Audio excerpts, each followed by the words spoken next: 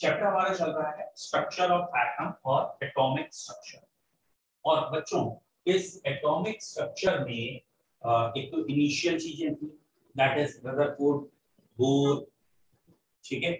और बोर का फेलियर तो जो डी ब्रॉगली इक्वेशन है, ये बेसिकली बोर का फेलियर है.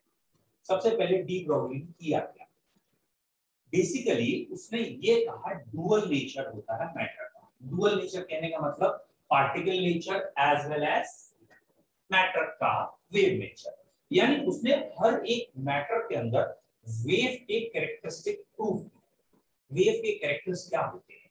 वेवलेंथ होती है डिफ्रैक्शन रिफ्रैक्शन इंटरफेरेंस ये सारे वेव के कैरेक्टर है। तो उसने वेव के कैरेक्टर पार्टिकल में प्रूफ किए। यानी ये हमारा टॉपिक है सॉरी चैप्टर का नाम है atomic structure and followed by आज का टॉपिक या एक बार रिवाइज कर रहे हैं डी ब्रॉगली वेव इक्वेशन ठीक है? तो बच्चों डी ब्रॉगली ने किया क्या? तो de Broglie prediction was confirmed experimentally when it was found that electron beam undergoes diffraction. De Broglie का एक प्रेडिक्शन था कि डुअल नेचर होगा, यानी पार्टिकल के अंदर वेव होगी वेव के अंदर पार्टिकल यानी दोनों नेचर होंगे। और ये चीज़ कंफर्म कैसे हुई थी? ठीक है? तो ये कंफर्म हुई थी that is electron beam undergoes diffraction ये डिफ्रैक्शन प्रॉपर्टी वेव की है। तो ये प्रॉपर्टी जो वेव की है, ये पार्टिकल यानी इलेक्ट्रॉन ने प्रूफ की देखिए diffraction is a characteristic is characteristic of a wave diffraction का मतलब आप जानते ही होंगे that is bending of a wave at edges edges पे जाके बेंड होना that is diffraction the phenomena has lead to develop and of an electron microscope as ordinary microscope uses wave nature of light. ठीक है? बच्चों ordinary microscope आपको मालूम ही होगा, और इलेक्ट्रॉन माइक्रोस्कोप में क्या होता है? ऑर्डिनरी माइक्रोस्कोप जो हमारे यूजुअली लैब में बना पड़ा होता है जब सॉरी मतलब देखा होगा आपने वो सनलाइट को थोड़ा बहुत आगे पीछे करके एडजस्ट करते तो लाइट बीम यानी लाइट वेव का यूज़ करके जो माइक्रोस्कोप था that is electron that is simple microscope ordinary microscope अब इसका मैग्निफिकेशन और जो इलेक्ट्रॉन माइक्रोस्कोप का मैग्निफिकेशन है ह्यूज डिफरेंस तो बच्चों इलेक्ट्रॉन माइक्रोस्कोप किसमें हम क्या यूज़ करते हैं? ऑब्वियसली बीम ऑफ़ इलेक्ट्रॉन यानी वेव नेचर ऑफ़ इलेक्ट्रॉन और उसका producers 15 million times magnification of an object यानी कोई भी ऑब्जेक्ट है, उसका जो मैग्निफिकेशन है इलेक्ट्रॉन माइक्रोस्कोप के आने से 15 मिलियन टाइम्स बढ़ जाता है।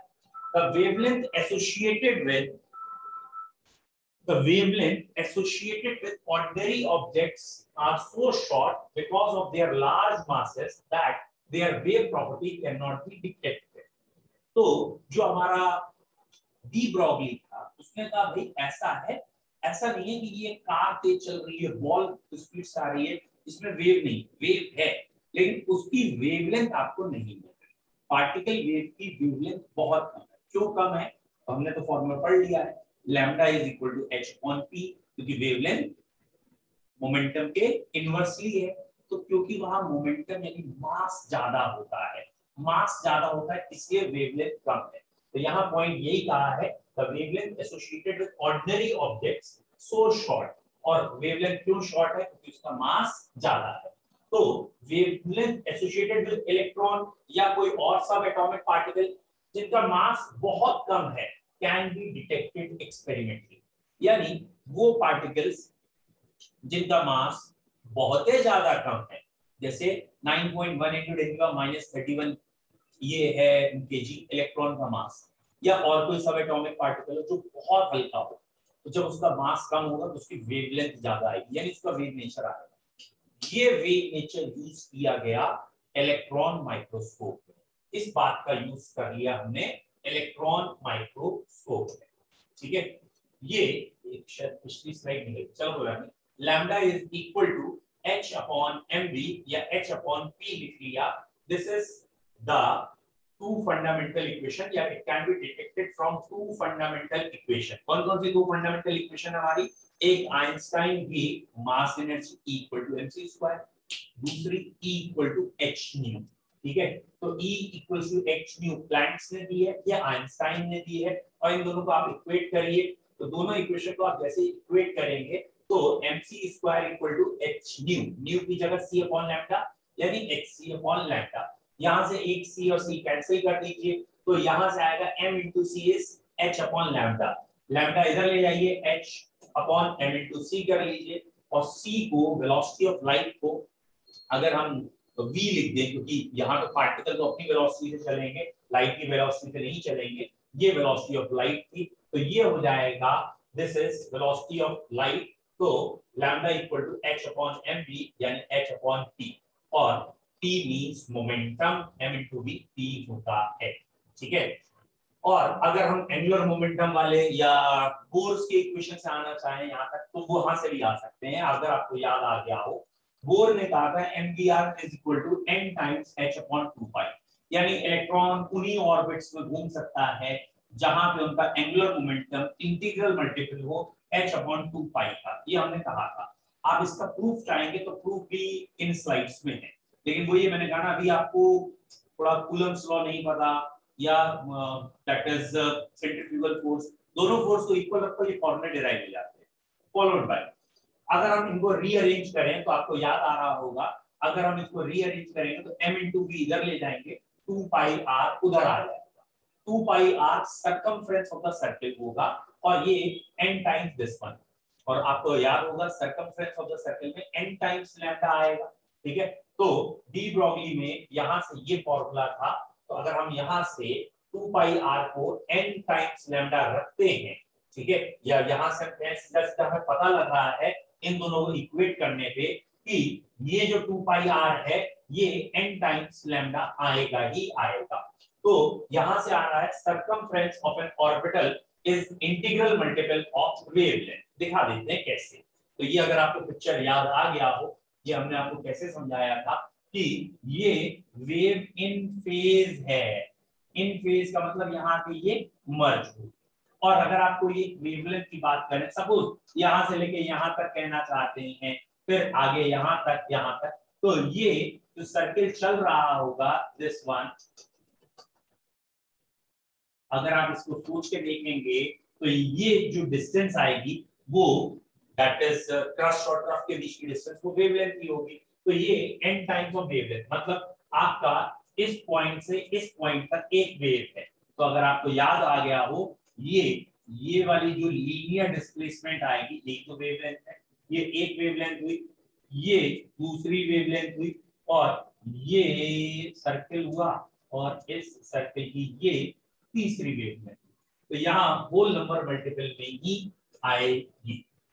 क्लियर है तो ये जो स्टार आपको दिखा है, ये आपको दिख रहा होगा two pi r is n lambda और अगर मैं यहाँ वेव आपको गिनने की कहूँ तो सबसे बेस्ट तरीका ये होता है, अगर इसी डायग्राम में गिनने को कहूँ तो आप यहाँ से स्टार्ट करने की जगह यहाँ से ही कर लीजिए, ये इस पॉइंट से।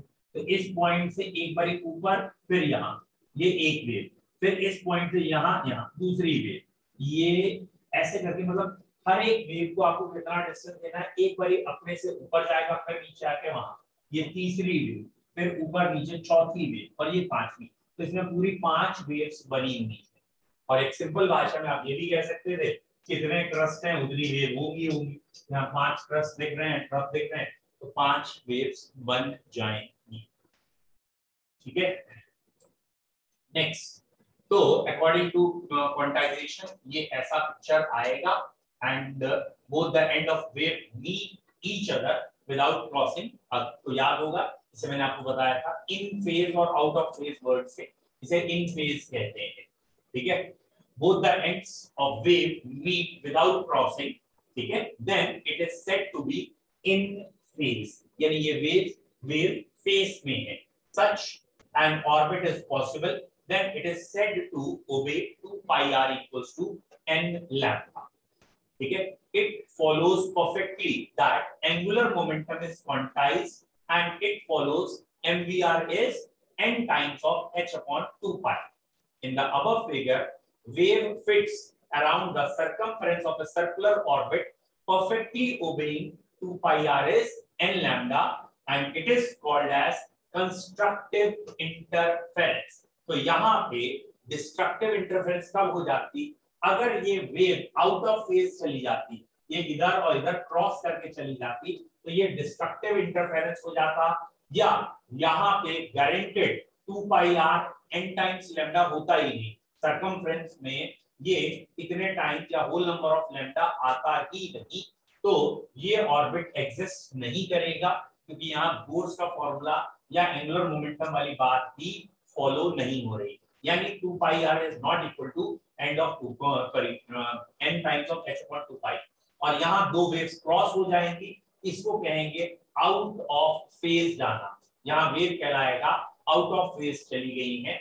If both ends of a wave do not meet meet and cross each other then it does not follow two pi r is n times of lambda then they set to be out of phase such an orbit do not exist. Thus, we can say its angular momentum is not quantized. Angular momentum यहाँ पे एक quantize नहीं है। ठीक है? तो ये circular orbit exist नहीं करेगा और ये एग्जैक्टली इक्वल नहीं होगा। It is called as destructive interference जो एटम में नहीं होती है, सिर्फ़ कंस्ट्रक्टिव होती है। अब डी ब्रोगली रिलेशनशिप हम कब लगाते हैं, किसके लिए लगाते हैं, सब एटॉमिक पार्टिकल्स के लिए, जैसे इलेक्ट्रॉन प्रोटॉन न्यूट्रॉन इनके लिए लगाते हैं। और ये भी जब हाई वेलोसिटी या स्पीड से चल रहे हो, और इनका मास बहुत कम हो। डी ब्रोगली वेव इक्वेशन नहीं एप्लीकेबल है, ठीक है? बिगर ऑब्जेक्ट्स जैसे डेली लाइफ की आप बॉल है, या और कोई भी कार मूव कर रही है, या और कोई चीज़ आप क्रिकेट बैट से शॉट मार रहे हैं lord Dennis table tennis bat bats उनके लिए नहीं है। Which travel with a very low velocity भैया, जो भी हमारे जनरल ऑब्जेक्ट्स हैं, उनकी वेलोसिटी उतनी नहीं होती। और इसलिए इनकी जो वेव आती है ना, वो इनसिग्निफिकेंट आती है। एक तो इनका मास बहुत ज़्यादा है, ऊपर से इनकी वेलोसिटी बहुत कम होती है। अब ये रहा जिसे कहते हैं क्वेश्चन इस पे based what will be the wavelength of an electron of football which travel with 1/10 1/10 1/10 और the velocity of light and mass of electron is given बेटा, चलिए, ठीक है? And while that football has this one while that of football is this ऐसे mass of electron की कोई खास ज़रूरत नहीं है। What will be the wavelength of an electron and football चलो, दोनों के लिए कहा है और एक चीज़ यहाँ समझाने के लिए वो भी बताऊँगा। चलिए, पहला क्वेश्चन है तो मैं ही बता देता हूँ, ठीक है? ओके जूम आउट करूँ। थोड़ा सा जूम आउट कर देता हूँ बेटा अब तो आ ही रहा। ठीक? चलिए, देख लीजिए कैसे करना है। आई होप सो तो आपको मालूम नहीं है। अगर ये डी ब्रॉगली या यहाँ निकालना है क्या आपको? यहाँ पे इन्होंने कहा है what will be the wavelength of electron तो lambda is equal to h upon m into v formula case one electron के लिए। और इलेक्ट्रॉन के लिए अगर आप वेवलेंथ निकाल रहे हैं एच की वैल्यू रखिए। अब जरा थोड़ा ध्यान रखिएगा एच के बाद आपने क्या लगाना है? मास मास आप ये दे रखा है ग्राम में। ये गलती ना हो जाए कि आप एम सिस्टम लगा रहे हैं तो मास आपका किलोग्राम में आना चाहिए।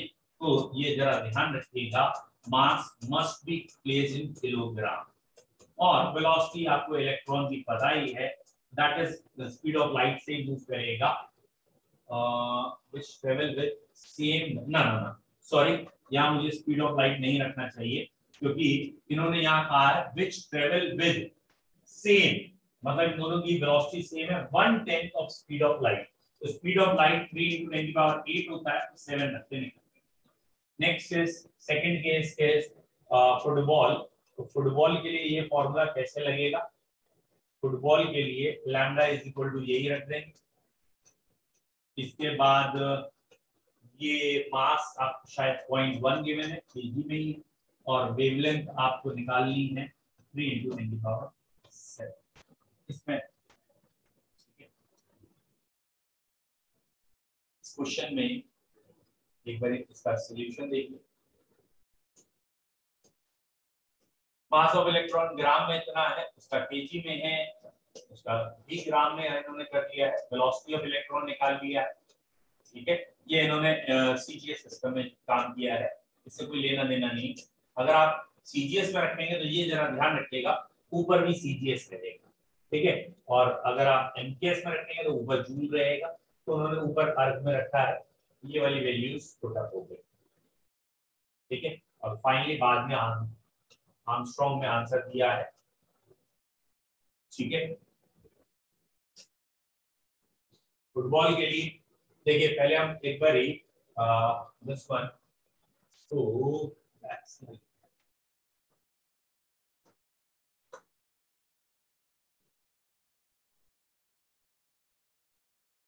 अभी मैं चेक कर बताइए, अगर आपको ये वाला न्यूमेरिकल क्लियर है और ये वेवलेंथ आ रही है खाली माइनस थर्टी और ये बहुत कम है तो ये इनसिग्निफिकेंट है.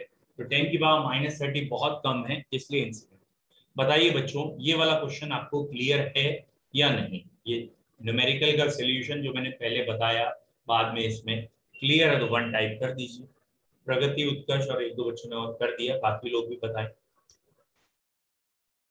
गुड आशुतोष, अदिति इन्होंने भी कर दिया है, हर्षिता। ओके वेरी नाइस तो ये वाला क्वेश्चन आपको न्यूमेरिकल क्लियर ठीक अब हम बात करते हैं जिसकी सबसे ज़्यादा बच्चों को दिक्कत आई थी। तीन चार बच्चों ने मुझे कहा, हाइजेनबर्ग कहना क्या चाहते हैं, ये तो बताओ। अरे भाई, कहना क्या चाहते हैं? तो हाइजेनबर्ग बाबू जी क्या कहते हैं?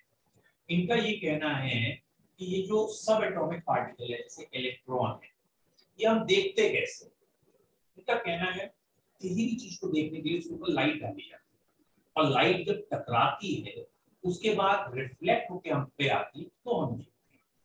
दैट मींस ये कहना चाह रहे हैं कि सब एटॉमिक पार्टिकल जिसको इलेक्ट्रॉन नाम दे रहे हैं, जब ये मोशन में था और हमने इसके ऊपर लाइट डाली लाइट इसके ऊपर पड़ गई और इसका एक अपनी वेलोसिटी और एक लाइट के फोटोन का इंपैक्ट तब ये दिखा। क्योंकि ये पार्टिकल इतना हल्का है, इतना लाइट पार्टिकल है कि जो जो लाइट आप इसके ऊपर डाल रहे हैं, वो लाइट भी इसके लिए पावरफुल इंपैक्ट रखती है। यानी अब जब आप देखते हैं तो उस लाइट जो आपने एनर्जी दी है लाइट एनर्जी उसकी, उसका प्लस इसका अपना ओरिजिनल इन दोनों का मिला के एक रिजल्टेंट मोशन देख रहे हो। इसका अकेले का ओरिजिनल या जेन्युइन मोशन नहीं देख रहे। तो हाइजेनबर्ग का बेसिकली कहना था कि जितने सब एटॉमिक पार्टिकल चलते और अगर आप उसे देख पा रहे हो तो आप 100 परसेंट उसे कभी एक्चुअल तो देख नहीं पा रहे हो मोशन क्योंकि उसमें वेव नेचर भी और पार्टिकल नेचर और तुम देखते कैसे हो? कैमरा लगा के कैमरा कैसे लगाते हो? लाइट डाल के। लाइट डाल के देख रहे हो तो लाइट का भी तो इम्पैक्ट इन्वॉल्व हो गया हंड्रेड परसेंट अकेले का इम्पैक्ट नहीं है।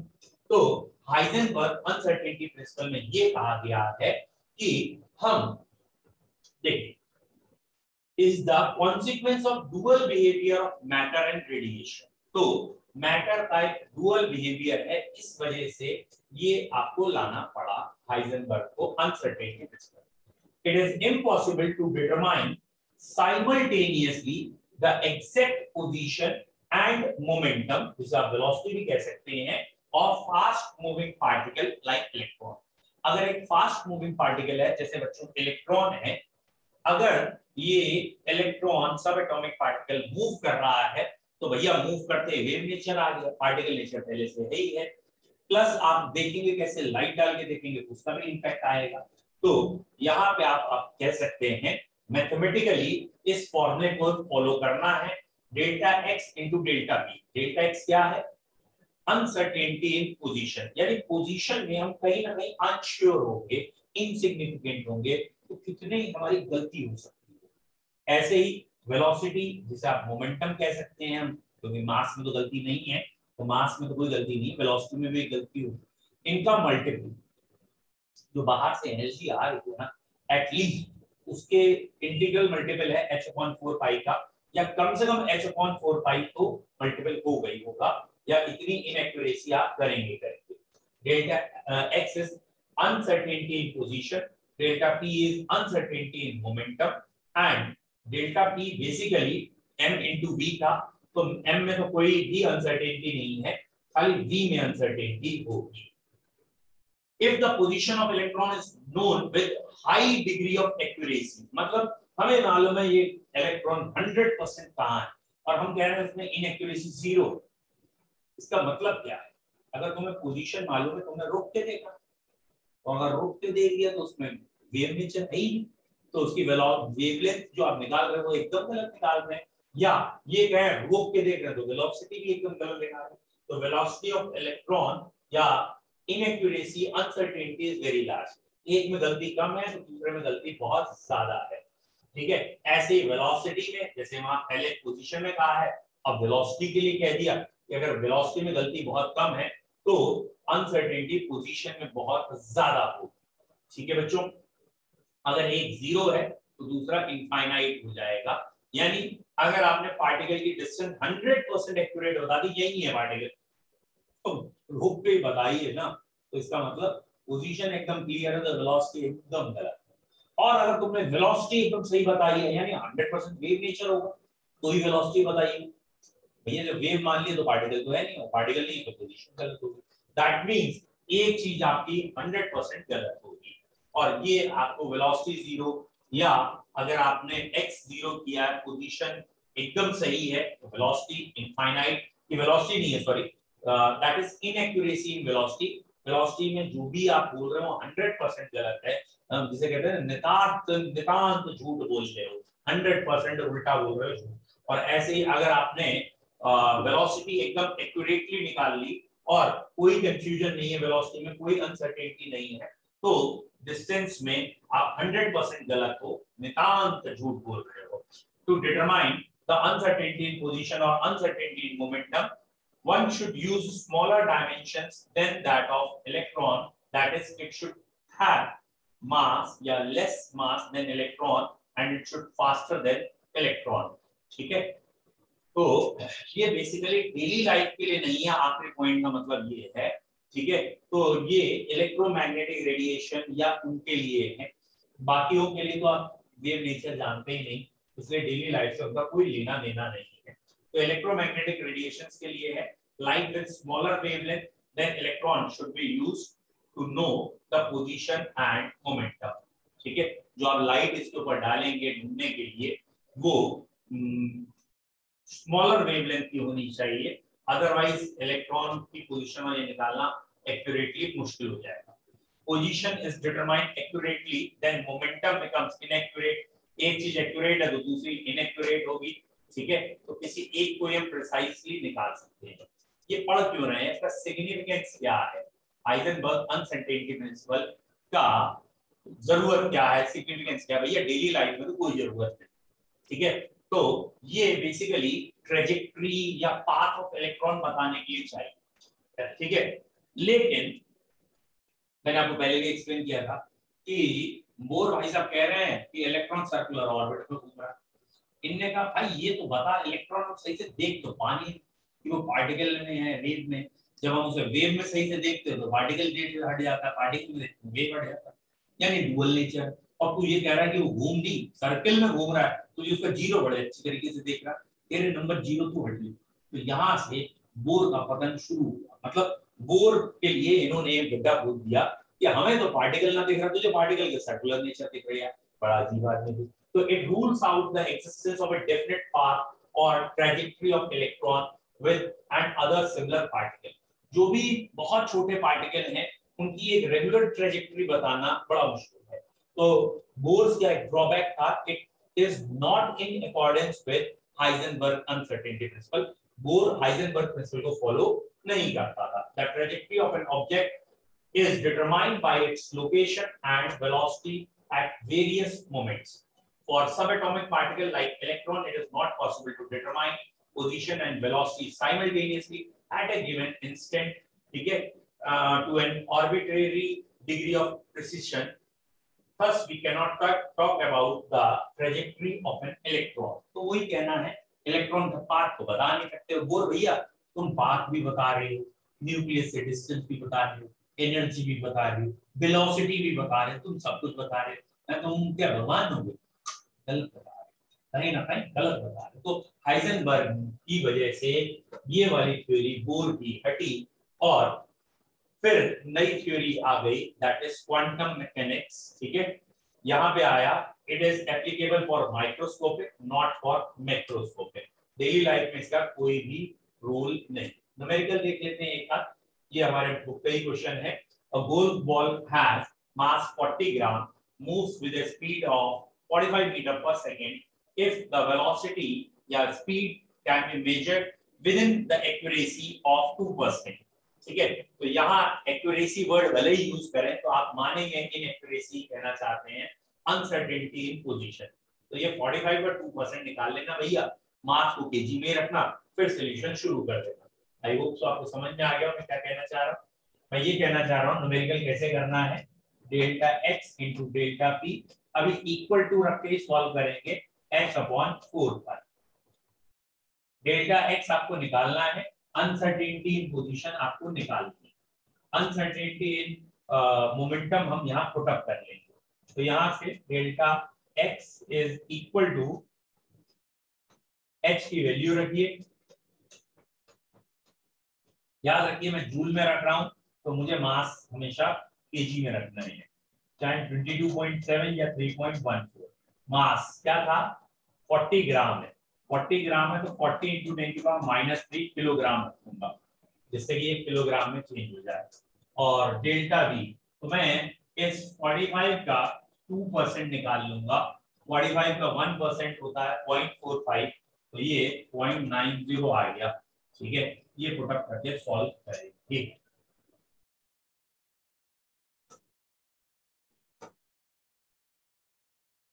एक बार चेक कर लेते हैं। ये आ गया अनसर्टेनिटी इन स्पीड ठीक है? इसके बाद ये फॉर्मूला आ गया delta x is equal to this ठीक है? क्लियर देखिए, ये मीटर पर सेकेंड में है और ये mass KG forty into ten की माइनस ये गलती मत करिएगा। ये पॉइंट नाइन आ जाएगा, ठीक है?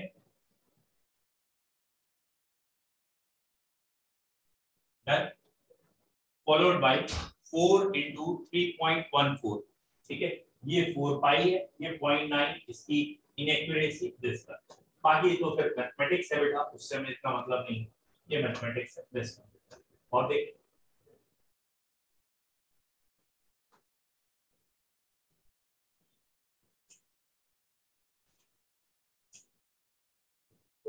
एक minute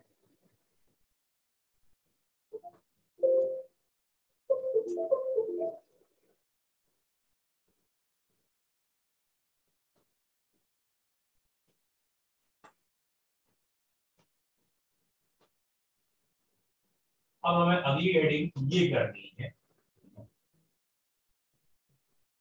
that is quantum mechanics थोड़ी ज़्यादा होगी तो ज़रूर देते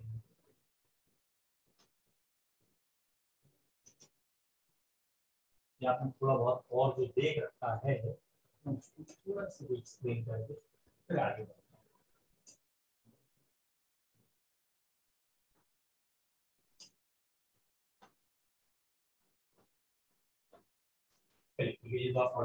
ये था वो पॉइंट जो मैं आपसे कह रहा था कि कुछ बच्चे समझना चाहें तो मैं समझा तो सकता हूँ कि इलेक्ट्रॉन यही क्यों मूव कर रहा है।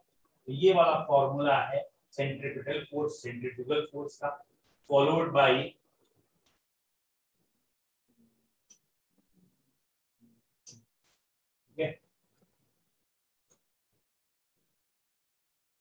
ये सेंट्रीपिटल फोर्स ये था सेंट्रीफ्यूगल फोर्स ये था, और जब हम इनको इक्वेट करके रखेंगे, ये वाला फोर्स है कूलम्बिक फोर्स और ये फोर्स आपका सेंट्रीपिटल सेंट्रीफ्यूगल से आया। जब हम इनको इक्वेट करते हैं तो फोर्स पोस्टुलेट बनते हैं m b r equal to h upon ठीक है, इसकी अभी आपको ज़रूरत नहीं है, क्योंकि अभी आप लेवल में ये सब नहीं आ रहा, इस ठीक है? हाँ। अब आते हैं अपनी ओरिजिनल पढ़ाई को। ठीक है? तो बच्चों, अगर आपको हाइजेनबर्ग आज क्लियर हो गया हो तो टाइप वन हाँ इसके दो न्यूमेरिकल ज़रूर बताऊँगा बेटा, आपने शायद किए या नहीं, मुझे नहीं पता।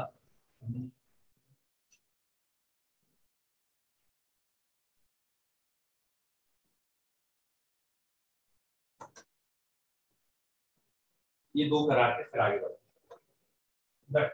पेज नंबर शायद एट या नाइन है।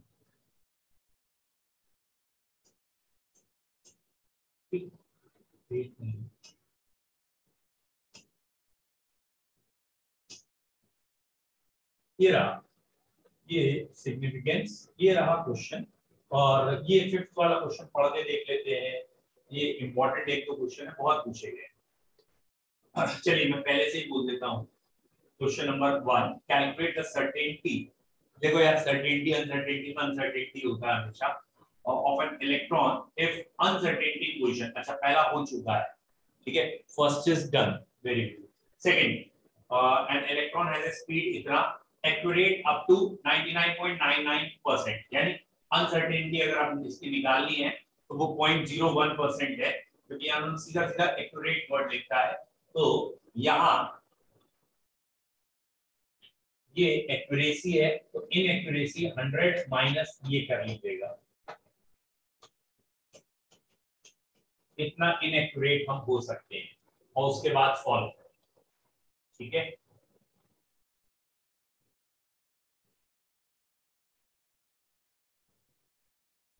क्वेश्चन नंबर फिफ्थ पे आइए बच्चों। इस पे जरा फोकस करिए। ये क्वेश्चन अधिकतर बच्चे गलत करते हैं। बाकी मैंने तीनों पढ़ लिए उनमें कुछ नहीं करना है। एक वैल्यू दे रखी है, दूसरी वैल्यू निकाल ली, इससे ज़्यादा कुछ नहीं है। Okay if the position of an electron is measured with in accuracy of 0.02 nanometer ठीक है? Position of an electron is measured with accuracy of 0.002 nanometer ठीक है? क्लियर है यहाँ तक calculate the uncertainty in momentum of electron uncertainty momentum में निकालना है। सपोज़ अब इसका दूसरा क्वेश्चन है। Suppose momentum of electron is given by this is there any problem और नॉट तो यहाँ पे पहला पॉइंट बच्चों, पहला पॉइंट कि अगर डेल्टा एक्स की बात करें तो ये फॉर्मूला आपने पहले लगा दिया। ठीक है? Delta x into delta p h upon four five अब सेकेंड पॉइंट यहाँ क्वेश्चन में कहा गया है कि electron the position of electron is measured within an accuracy of 0.002 nanometer ठीक है? तो यहाँ पे कहना चाह रहे हैं 0.002 नैनोमीटर किसके लिए? तो delta p is equal to h upon four pi into point zero zero two यहाँ नैनोमीटर में ही लिख दिया है। ठीक है? अब वो कह रहे हैं कैलकुलेट अनसर्टेनिटी मोमेंटम ये आ गया अनसर्टेनिटी मोमेंटम यहाँ आप इसे सॉल्व करेंगे, इसका आंसर आएगा अनसर्टेनिटी मोमेंटम थोड़ी देर के लिए मैं इसकी वैल्यू कह दे रहा हूँ, कोई एक वैल्यू कह देते वाई वैल्यू आ गई। सपोज़ दैट ये वाई इसका सॉल्व होकर आंसर आया।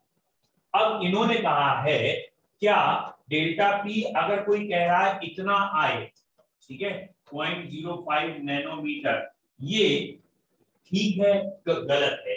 ठीक है, एक बार चेक कर लीजिए हाँ। पॉइंट ज़ीरो फाइव नैनोमीटर अगर लिखते हैं तो ये चीज़ या उनकी भाषा में is there any problem in defining in this तो ये हमारा डेल्टा पी आ रहा है वाई यानी इनएक्यूरेसी इन मोमेंटम हमारी ये वैल्यू आई जब हमने पॉइंट ज़ीरो टू लिया। अगर हम पॉइंट ज़ीरो फाइव लेते, अगर हम पॉइंट ज़ीरो फाइव लेंगे, एक कॉमन सेंस लगाओ, इससे कहीं ज़्यादा से डिवाइड कर रहे हो। ऑलमोस्ट ट्वेंटी फाइव टाइम्स ज़्यादा से। तो ज़्यादा से डिवाइड कर रहे हो तो ये इनएक्यूरेसी कम आएगी या ज़्यादा?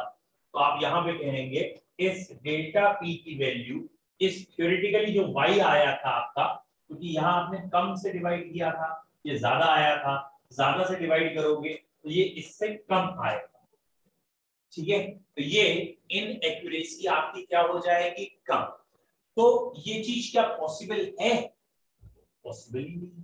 क्यों नहीं पॉसिबल फिर से सुनना क्या कह रहा हूँ। एक मिनट जो चीज़ समझाना चाह रहा हूँ, उस पर फोकस करना। हमने ये कहा था डेल्टा एक्स और डेल्टा पी का मल्टीपल या तो एच ऑन फोर पाई के बराबर आता और नहीं तो एच अपॉन फोर पाई से ज़्यादा आए कभी कम नहीं एच अपॉन फोर पाई से ज़्यादा आ सकता है, कम नहीं आ सकता। ठीक है? अब हम ये कहना चाहते हैं कि हमने अगर डेल्टा एक्स की वैल्यू निकाली, हमारे डेल्टा एक्स की जो भी आपका आंसर आएगा, आपने वैल्यू निकाल ली, हमारे डेल्टा एक्स की वैल्यू या sorry delta x put up करने के बाद ये डेल्टा पी इतना आया है। दैट इज़ कोई वाई वैल्यू आ अब वो कह रहे हैं, क्या आप, इसको डेल्टा एक्स को 0.05 जो आपने लिया है, उससे आपने मानते हुए आंसर निकाल ये वाला आंसर बाई आ और किसी में, इसी केस में, जब ये 0.05 ही है, उसी केस में कह दिया कि एक्यूरेसी इससे जो आपने पहले निकाली है, उससे ज़्यादा आ सकती है क्या? तो अब आपको ये कॉमन सेंस याद रखना है कि सिंपल भाषा में एक बार एक्सप्लेन करता हूँ, क्योंकि ये वैल्यू थोड़ी पॉइंट्स में जा रही है तो हो सकता है आपको दिक्कत करे। पहले आप सिंपल भाषा में समझिए क्या कहना चाह रहे हैं। ये मल्टीपल ये मल्टीप्लाई बेसिकली या तो h अपॉन फोर पाई के बराबर आएगा या उससे ज़्यादा। और ये वाली वैल्यूज़ है क्या? ये है इनएक्यूरेसी अगर तुमने डेल्टा एक्स की इनएक्यूरेसी निकाल दी, वो वाली वैल्यू पुटअप की तो डेल्टा पी की इनएक्यूरेसी आ गई। अब डेल्टा पी की इनएक्यूरेसी या तो उतनी होगी या इनएक्यूरेसी उससे ज़्यादा होगी। डेल्टा पी की इनएक्यूरेसी उससे कम हो ही नहीं सकती। पॉइंट समझ में आ रहा जबकि h अपॉन फोर पाई के नीचे अगर पॉइंट ज़ीरो फाइव यानी एक बड़ी वैल्यू से डिवाइड करूँगा तो ये जो डेल्टा पी है, इसका आंसर कम आने लगेगा। जो भी हमने पहले आंसर निकाला है क्योंकि तो बड़ी वैल्यू से डिवाइड किया तो आंसर कम आने लगेगा। जबकि ये बात तय है कि डेल्टा पी का आंसर डेल्टा पी क्या है? इन है। और इन एक्यूरेसी का आंसर जो जब आपने पहले सॉल्व किया था, यानी ये जितना है, या उतना इनएक्यूरेट आए, या उससे ज़्यादा इनएक्यूरेट आए। उससे कम इनएक्यूरेट नहीं आ सकता, या एक्यूरेसी आपकी बढ़ नहीं सकती। तो यहाँ पे अगर आप पॉइंट ज़ीरो फाइव से डिवाइड करेंगे तो इसकी इनएक्यूरेसी कम, यानी एक्यूरेसी ज़्यादा आ गई विच इज़ नॉट तो ये वाला एक क्वेश्चन ऐसा है जो बच्चों को जनरली पहली बार में नहीं समझ में आता। इसलिए मैं इसे दो बार ही बोल देता हूँ। एक बार और बोल रहा हूँ। ये है delta x into delta p या तो एच अपॉन फोर पाई आएगा, या इससे ज़्यादा आएगा। तो डेल्टा पी की वैल्यू अगर हमने निकाली है h upon four pi into point zero zero five से। तो जब हमने ये h upon four pi point zero zero five से डेटा पी निकाल लिया, उसका एक आंसर आ गया। लेट सपोज़ उसका आंसर आ रहा है टू आर्म्स सपोज़ उसका एक आंसर टू आर्मस्ट्रॉन्ग आया अब हमने कहा, क्या इसका कभी ये आंसर क्योंकि वो कह रहा है इसे रखो ऐसे। वो कह रहा है इससे रखो ऐसे। वट ठीक है, सही कह रहे हैं। मैं सही कर देता हूँ। यहाँ शायद ये वैल्यू थी टू और यहाँ ये वैल्यू है फाइव तो वो कह रहे हैं, क्या ये जो आंसर आ रहा है, क्या इससे दिखा सकते हैं? तो अगर आपने ज़्यादा से डिवाइड किया तो आंसर कम आएगा। सपोज़ ये 1.5 आर्मस्ट्रॉन्ग आया। तो वो कह रहे हैं, ये आंसर तुम्हारा आ रहा है। क्या ये एक्सप्लेन हो सकती है बात? तो आंसर होगा ना। नहीं हो सकती एक्सप्लेन क्यों नहीं हो सकती? क्योंकि जब हमने x या delta x inaccuracy in position रख दिया तो इनएक्यूरेसी इन मोमेंटम की वैल्यू आ गई। ये वैल्यू आ गई। या तो इनएक्यूरेसी जितनी होगी, या इनएक्यूरेसी इससे ज़्यादा होगी। इनएक्यूरेसी इससे कम, यानी हम और ज़्यादा एक्यूरेट नहीं that means inaccuracy by defining by this is not possible ये चीज़ पॉसिबल नहीं। बताओ बच्चों, अब मैंने क्योंकि दोबारा समझाया है होपफुली क्या अब आपको ये वाला लॉजिक समझ में आया है, इस क्वेश्चन का इनएक्यूरेसी इससे कम नहीं हो सकती। ऋषिका, पलाक्ष, प्रगति, ये वाला क्वेश्चन याद करिएगा, समझिएगा, और नहीं समझ में आया तो एक बार और डिस्कस ज़रूर कीजिएगा। गुड अब हम अगली हेडिंग इस चैप्टर के सेकेंड क्वेश्चन पर मूव कर रहे हैं बच्चों। इस चैप्टर का सेकेंड क्वेश्चन है obviously quantum mechanics Schrodinger wave equation और quantum numbers Schrodinger wave equation course में नहीं है। आपको एक हिंट दे दूँगा, अगर आप चाहेंगे थ्रू स्लाइड्स ठीक है? तो स्लाइड्स में तो प्रोडेंजर वेव इक्वेशन सारी है, ठीक है? आप चाहेंगे तो उससे दिखा दी जाएगी। और अगर आप सीधा क्वांटम नंबर पहले पढ़िए। Quantum number shapes of orbital SPDF की शेप्स हैं। Quantum number probability density electronic configuration half filled full filled Aufbau Pauli suit इन पे क्वेश्चन ज़्यादा बनते हैं। तो ये सेकंड क्वेश्चन पे आ चुके हैं। फ़र्स्ट क्वेश्चन चैप्टर का हमारा खत्म हो चुका चलिए बच्चों आज इतना ही रखते हैं। कल यहाँ से आगे बोलो क्लियर है यहाँ तक? Yes sir okay yes sir have a nice time thank you sir thank you sir okay